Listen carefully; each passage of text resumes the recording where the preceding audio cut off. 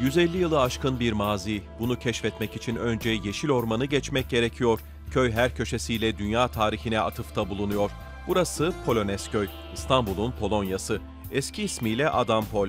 Köy ilk olarak Polonya ayaklanmasından sonra esir düşen ya da zorla Rus ordusuna alınan askerleri kurtararak buraya yerleşmelerini sağlamak için kuruldu. 1840'lı yılların başındaysa Paris'te sürgünde bulunan Polonyalı Prens Adam Czartoryski bu toprakları süresiz olarak kiraladı. Adam pol. Pol tarla demek. Adamın tarlası. Yani adam pol. Hanımının da Anna idi adı. Anna Pol diye ufacık bir köy. Yine ayrı olarak köyden köyün hemen yanında kuruluyor fakat e, nüfusu çok az olduğu için zamanla kayboluyor. Adam Pol ise daha e, biraz daha geniş, daha kalabalık olduğu için e, zaman zaman 400-500 kişiye kadar şey çok kişi geldi, çok kişi git, gitmiştir. E, yani burası bir geçiş noktası oldu. Halen de böyledir. Yani Avustralya'ya çok toplu olarak gidenler oldu. Almanya'ya toplu olarak gidenler oldu. E, Kanada'ya toplu olarak gidenler oldu. Ama birçoğumuz da burada kaldı. Anthony Doho da tarihe tanıklık edenlerden büyük büyük babasının 1848 yılında köye gelip yerleşmesi hem köyü hem de ailesinin hayatını değiştirmiş. Dohoda ailesi dört kuşaktır burada yaşıyor. Osmanlı ile Rusya arasında gerginlik oldu, olduğu zaman e, diplomatik yüzeyde Osmanlı ile e, Polonya, sürgündeki Polonya devleti arasında bir görüşmeler başladı ve böyle böyle niyetimiz var. E, Osmanlı topraklarında dağılmış olan askerleri bir ana top, toplamak ve Kırım Harbi'ne gitmek. E, dolayısıyla sultanın haberi de oluyor. Bir sürü yerler teklif ediliyor. Girit Adası, e, Kıbrıs, Mudanya vesaire gibi işte ama Polonyalılar bunu çok uzak diye şey yapıyorlar.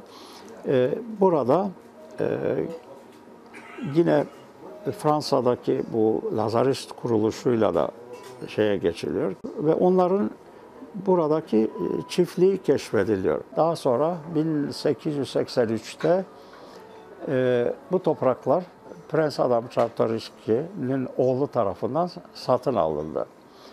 Ve e, dolayısıyla bu Fransız e, topluluktan tamamen ayrı ayrılmış oldu. Polonezköy 30 Haziran 1842 yılında kurulduğunda köye yerleşmek için Katolik, Polonyalı ya da Katolik Slav olmak gerekiyordu.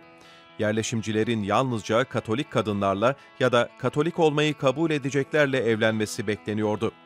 Bugün köy halkı için en önemli mekanlardan biri yine bu kilise. Çestohovalı Meryem Ana Kilisesi.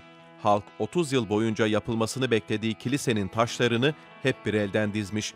Birinci Dünya Savaşı'ndan sonra tahrip olan binayı beraber onarmış.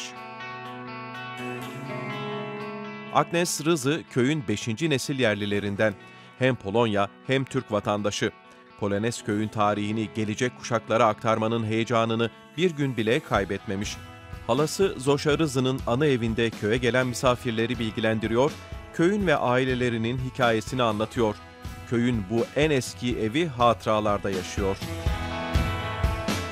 Bu evin bir geleneğiydi yani misafirleri ağırlamak, tarihi anlatmak, Polonya kültürünü tanıtmak. Ee, ve e, büyük dedesine e, en küçük kızı her zaman yardımcılığı oluyordu Zoşa halamız. Zoşa halamız bu köyde en uzun yaşayan kişilerdendi yani böyle kendini bu işe adayarak. E, ve hiçbir zaman e, çocukları olmadı, ailesi olmadı. Evini her zaman herkese açık tuttu. Hmm, o yaşlandığı zaman ve öldükten sonra bu geleneğin devam etmesini istedik. Müthiş duygu uyandırıyor burası. Bazen e, insanların gözleri doluyor. E, buranın etkisi altında kalıyorlar anlatılanların. Birbirlerimize sarılıyoruz. E, yani burada hala onun ruhu yaşıyor sanki. Öyle bir iletişim var. Köyün temel geçim kaynağı turizm. Bu gelenek 1900'lü yıllardan beri devam ediyor. O dönemde İstinye'ye demir atan Alman gemileri köye birçok subay ve askeri misafir olarak getirmiş. Köy halkı odalarını ve evlerini kiraya vermeye başlamış. restorancılık ve otelcilik sektörüne de bu sayede adım atmış.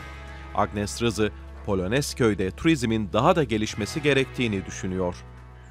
Yani biz zaten turizm yapıyoruz. Ama o turizm bir resmi açıdan olmasının hayali içindeyim. Yani bir burada ge- misafir geldiğinde her seferinde bana ya da amcama değil de bir turizm ofisi olsun. Oraya gidip broşürlerini bulabilsin.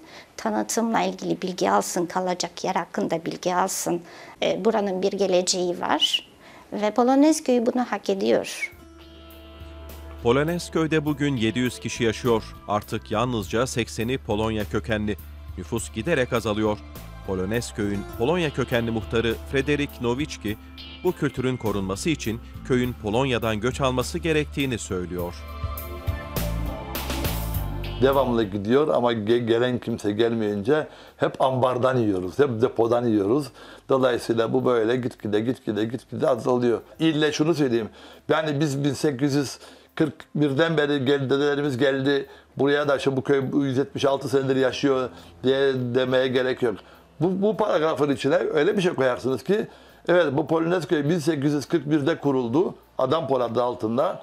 1900 2018 veya 2019'da Polonya'dan gençler geldi, yerleşti ve ikinci 2019'da yeni aşıla yeni aşılama oldu bu köye ve bu ikinci kategoriyi bu gençler yürütüyor diye denebilir. Tabii onların çocukları aynı bizim dedelerimizin e, çocukları gibi, torunları gibi e, yürüyebilirler ve o zaman da Polonezköy yaşayabilir. İdari ve bütçesel sorunlardan dolayı Polonezköy'ün geleneksel kiraz festivali birkaç yıldır yapılamıyor. Köy gün geçtikçe gelişiyor ve İstanbul'a daha da çok yaklaşıyor. Fakat yerel halk şehrin içinde kaybolmak değil, köyün özgünlüğünü korumak ve tarihini gelecek nesillere taşımak istiyor.